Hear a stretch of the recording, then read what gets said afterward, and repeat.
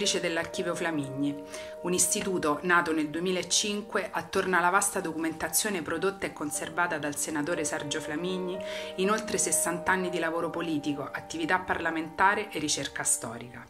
Oggi l'Archivio Flamigni, che conserva anche diversi fondi documentali e librari donati da privati, le cui vite e esperienze di lavoro si sono intrecciate con quelle di Flamigni, è un centro di documentazione altamente specializzato nello studio e nell'approfondimento della storia dell'Italia repubblicana, in particolare sul terrorismo, le stragi e la criminalità organizzata. Lavoriamo per far conoscere a tutti, a partire dai ragazzi delle scuole, la storia recente del nostro paese, mettendo a disposizione documenti originali, affiancando nella ricerca studiosi e curiosi, accompagnando le scuole in percorsi dedicati, costruiti insieme agli insegnanti, utilizzando il web, i social e sperimentando piattaforme che consentano la consultazione online anche in collaborazione con il Ministero dei Beni Culturali, dell'Istruzione e della Giustizia. Il 9 maggio è il giorno in cui Aldo Moro fu trovato cadavere nel 1978 e nel 2007 questa data è stata scelta per la ricorrenza del giorno della memoria per le vittime del terrorismo e delle stragi con il proposito di colmare un vuoto di memoria storica e di attenzione umana e civile di cui le vittime e le loro famiglie hanno sofferto in conseguenza di ciò che tristemente accadde nei lunghi anni in cui la nostra giovane Repubblica è stata ferita dalla violenza diffusa, seppur minoritaria, del terrorismo. Sono Roberto della Rocca, presidente di AIVITER, Associazione Italiana Vittime del Terrorismo, la più rappresentata associazione eh, di vittime del terrorismo di categoria in Italia e che comprende sia le vittime e i loro familiari degli attentati di ieri, anni di piombo, sia quelli di oggi.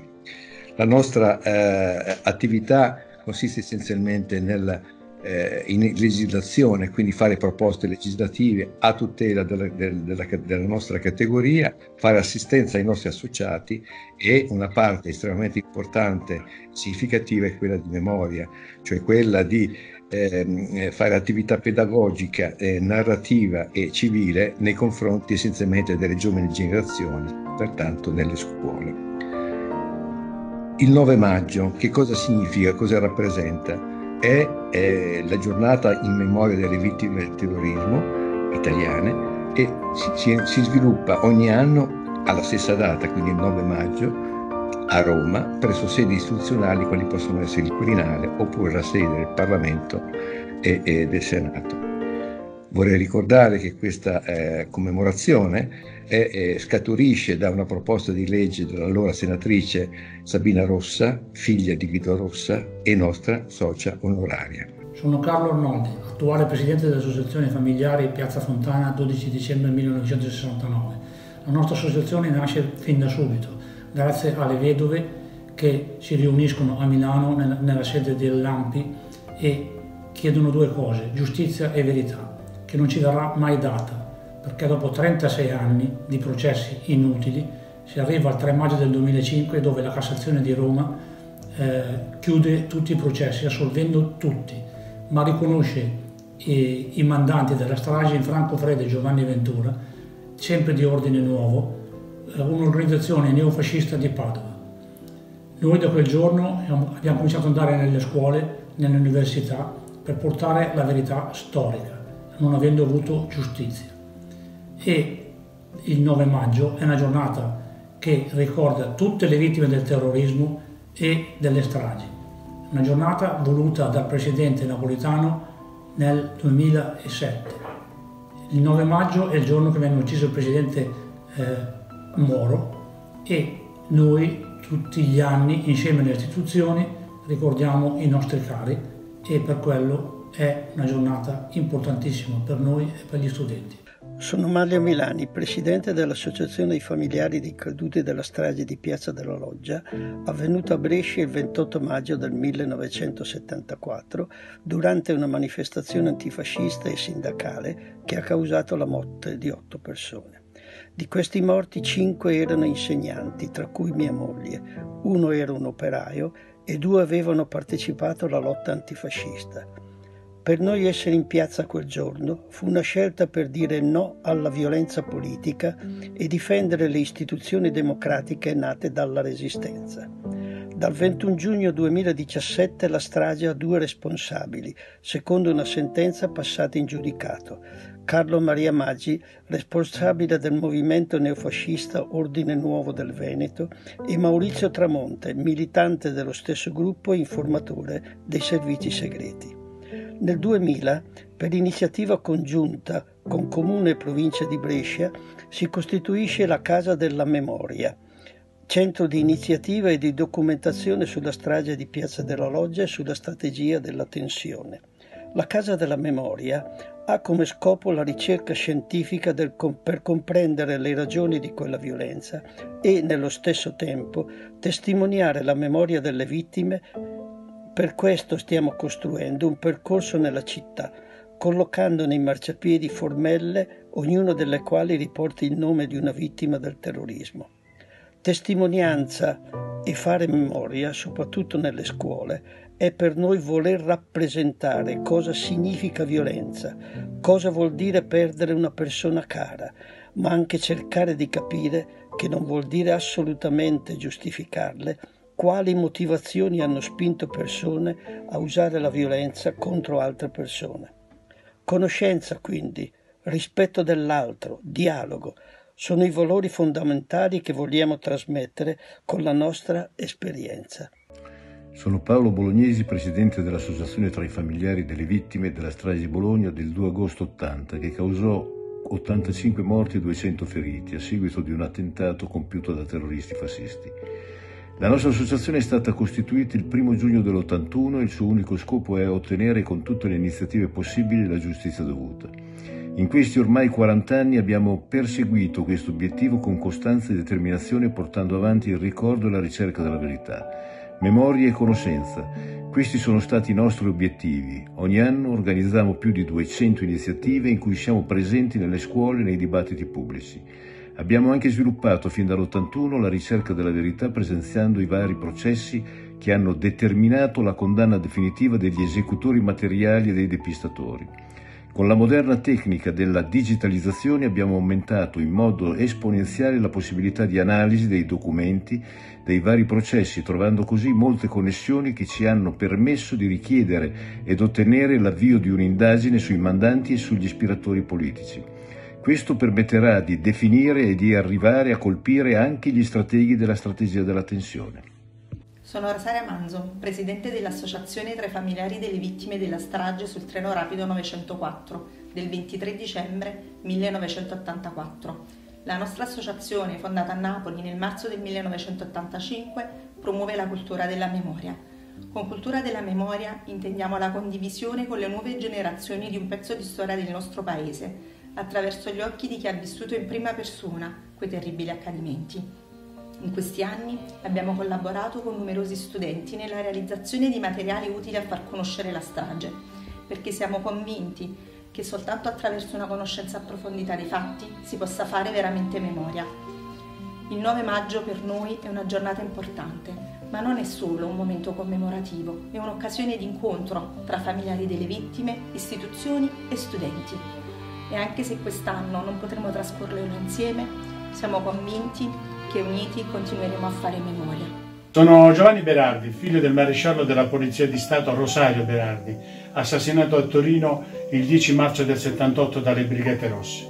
Oggi sono il presidente dell'ASIVIT, l'Associazione Europea Vittime del Terrorismo, fondata anni fa con altre vittime del terrorismo. Il nostro impegno è iniziato subito dopo l'assassinio di mio padre, da quando volemmo con un'ottica e un'azione in chiave europea assumerci il compito della difesa dei valori e gli interessi delle vittime del terrorismo, patiti nel tempo non solo dall'Italia, ma anche sotto altre forme da molti paesi europei. Da quel giorno ci assumemmo il doveroso compito di onorare, tutelare la memoria di coloro che cadono consapevolmente per difendere l'ordinamento democratico e costituzionale dello Stato italiano. A tale oneroso compito si aggiunge l'impegno quotidiano per la tutela dei diritti dei feriti sopravvissuti, delle vedove e degli orfani delle vittime del terrorismo. Il nostro impegno continua quotidianamente anche per trasmettere ai giovani d'oggi, protagonisti delle future generazioni, il senso del dovere, l'attaccamento ai principi costituzionali di democrazia e libertà e dal senso dello spirito di servizio, come quello che spinse al sacrificio della propria vita tutti coloro che, credendoci fermamente, caddero in difesa della Repubblica Italiana, in quella notte buia per la nostra Repubblica che va sotto il nome di anni di piombo. Il 9 maggio è la giornata dedicata per legge alla memoria delle vittime del terrorismo e questo ci onora. Ma per noi è anche il giorno dell'amarezza, dovuto all'attesa infinita che si completi l'interminabile iter burocratico delle poche leggi a favore delle vittime del terrorismo promulgate e ancora giacenti nel Parlamento repubblicano. Sono Daria Bonfietti, presidente dell'Associazione Parenti Vittime della strage di Ustica. Il 27 giugno 1980 un aereo civile con i suoi 81 passeggeri a bordo si è inabissato nel Mar Tirreno, nelle acque del Mar Tirreno Abbiamo combattuto una lunga battaglia per sapere la verità su quello che avvenne quella notte ai nostri cari e noi la verità l'abbiamo conquistata. Il 19 dell'Italia è stato abbattuto all'interno di un episodio di guerra aerea. La nostra battaglia continua. Oggi dobbiamo sapere ancora gli autori materiali dell'abbattimento di un aereo civile in tempo di pace. Nel 2007 abbiamo inaugurato il Museo per la memoria di Ustica, per ricordare, per fare memoria. In quel luogo sempre più si svolgono attività con didattiche, con l'aiuto e con la collaborazione del MIUR, con la collaborazione del Comune di Bologna, con la collaborazione del Mambo, riusciamo a far partecipare a centinaia e centinaia di studenti ad attività didattiche. La presenza di storici, la presenza anche dell'Università di Bologna permette a noi di continuare a elaborare progetti, convegni e rappresentazioni dinanzi al Museo per la Memoria di Ustica per non dimenticare. Sono Luigi Dainelli, sono il presidente dell'associazione tra i familiari delle vittime della strage di Via dei Gergofili del 27 maggio 1993. Eh, scopo, la, questa associazione è stata fondata intorno agli anni 2000 quando ancora c'erano i processi in corso e lo scopo principale era quello della ricerca della verità, della giustizia e cosa molto importante la memoria, la memoria da trasmettere e tenerla viva sempre anche alle generazioni, specialmente alle generazioni future, ai ragazzi nelle scuole dove si può comunicare con loro.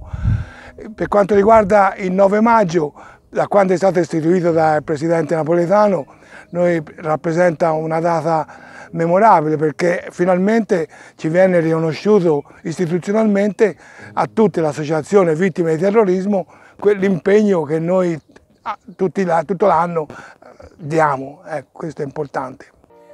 Sono Giovanni Ricci, presidente dell'associazione Domenico Ricci. Il 16 marzo 1978 a Roma terroristi delle Brigate Rosse trucidarono in via Fani la scorta di Aldo Moro due carabinieri, tra cui mio padre e tre poliziotti.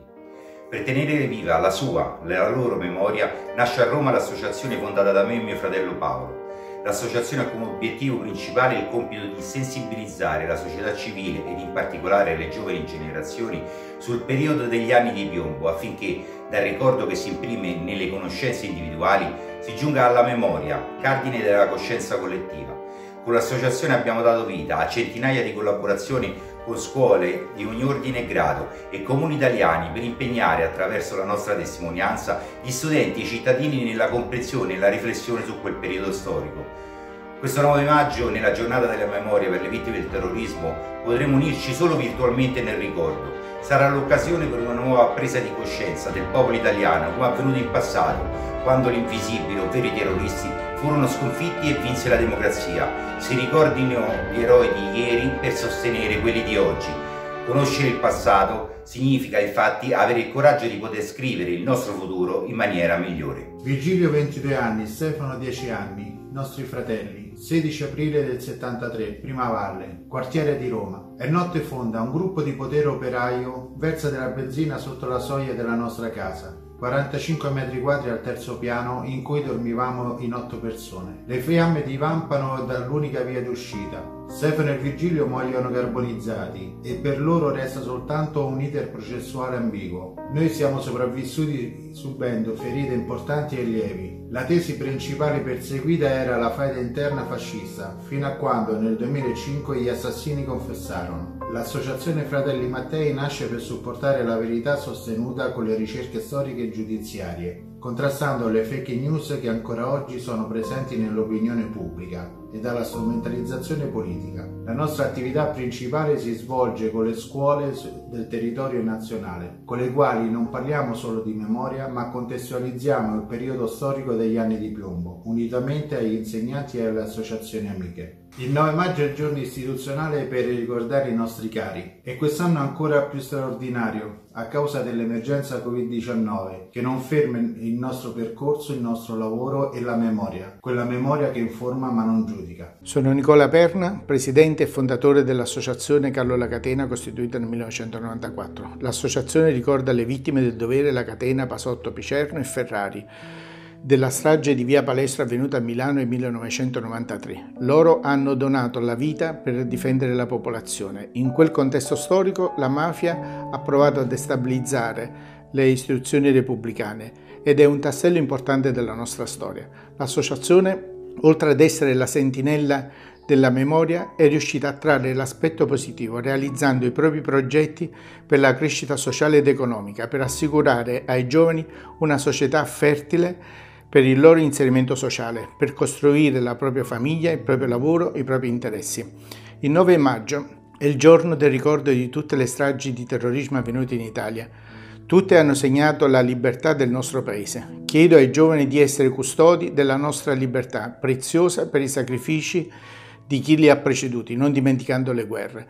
Chiedo ai giovani di avere il coraggio e la forza di essere parte attiva delle politiche del nostro Paese, solo in questo modo possiamo dare vigore e sviluppo alla nostra grande Italia. Sono Alberto Capolungo, vicepresidente dell'Associazione Vittime dell'Uno Bianca. La nostra associazione nacque il 23 marzo 1995, cioè qualche mese dopo la cattura dei componenti di una banda che in oltre sette anni di attività, dal 1987 al 1994, aveva commesso centinaia di crimini, lasciandosi dietro 24 morti e oltre 100 feriti. L'associazione fu fondata per aiutare i parenti dei deceduti e tutte le vittime nella ricerca di verità e giustizia e per mantenere vivo il ricordo di tanti innocenti che persero la vita per mano di feroci delinquenti che agirono come terroristi. Quest'anno non potremmo condividere la memoria materialmente, ritrovandoci come ogni 9 maggio insieme a tante altre vittime come noi di stragi e di atti terroristici.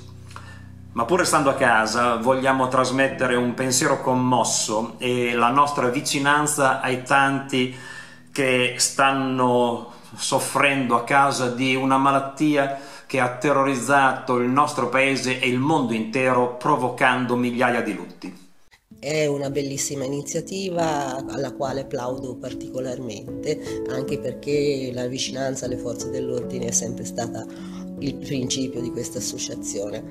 E, e, si è chiamata Memoria proprio perché è nata nel 1997, proprio per controbattere quella che era il dilagare delle attenzioni, delle, tutti pronti a soccorrere i terroristi, mentre ci si stava dimenticando delle vittime che non avevano più voce. E in questo modo, invece, mettendoci insieme, siamo riusciti a dar voce anche ai nostri morti, ai nostri caduti.